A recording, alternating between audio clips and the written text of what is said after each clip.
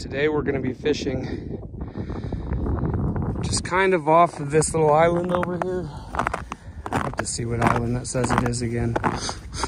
I had it memorized for the video, but yay.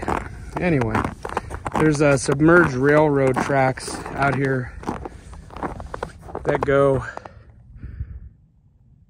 basically right along there. And I'm still probably yards away, like 40 yards. But I wanted to start drilling the ice and see how we were sitting for thickness. We are just gonna go ahead and ride this spot out for a little bit because why not? We're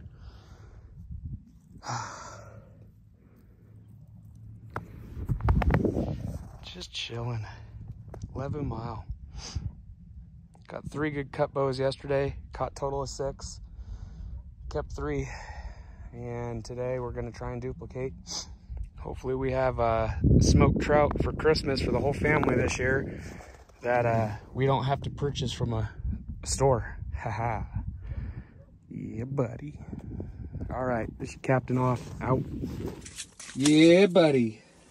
Nine something in the morning.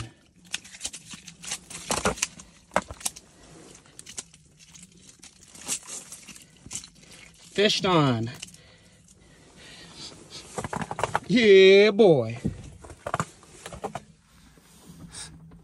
right.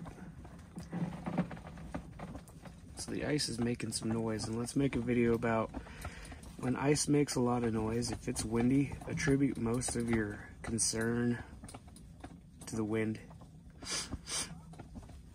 Uh, if you got seven inches of ice and it looks like that,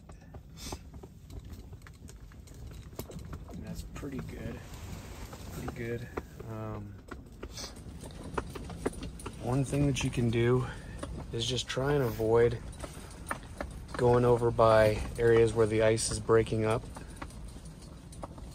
and also stay away from pressure ridges but more so just look for a patch of black ice and then go straight to the middle of it and set up shop and you can see how I did that and there's some noise on all these snow coverings because what happens is that there's a shadow behind it at a certain hour of the day and it actually causes melting and thawing. So you'd be surprised how often it's like, I don't know, places that you think you could walk more safely are actually not as good. But when you hit it with a spud bar that's that big, um, what I like to do actually is hit it and hope for about six good hits before going through, really. But even at about three or four good whacks, like good ones, Normally I can get the very bottom of the ice to fracture at least. And that'll kind of tell me, you know, how much pressure it takes to break the ice and how thick the ice actually is because you can see this split at the bottom. I mean, you hear that. And I do have a heater going, but here's the thing, there's a lot of wind and the pressure ridge is over there. And there is one behind me, but not really that concerned. Check out the back view out of the castle. Yes. So, I mean, there's no breakup over here. There's really nothing going on. So, keep fishing. Like I say, if it's seven inches or if you're in seven feet of water, you're gonna hear a lot of popping. Or if there's wind. But yep.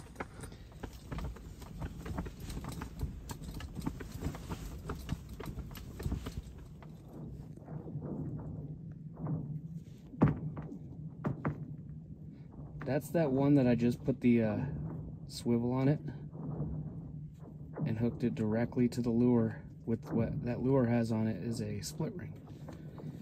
So you see how much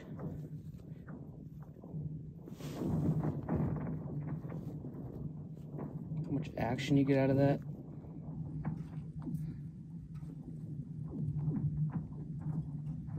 That's why I say, depending on how you fix your things together, you're gonna have a lot of success. This is a great one for playing. See how active these fish are.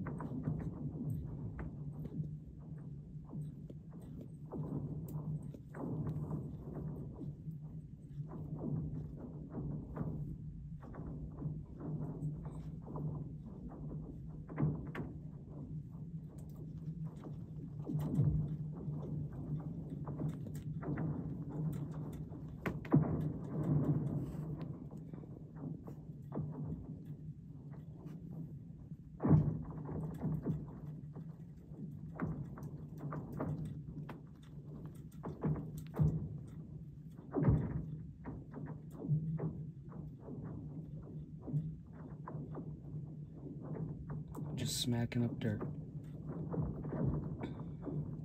Great way to call fish.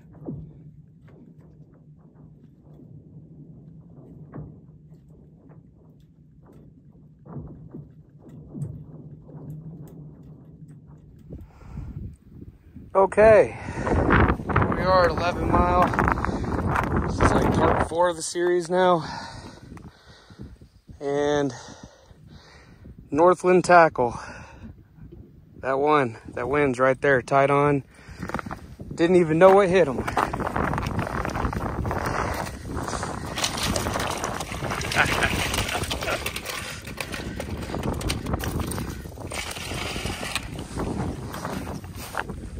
It's a good, good fish right there, buddy. Damn. Oh, yeah.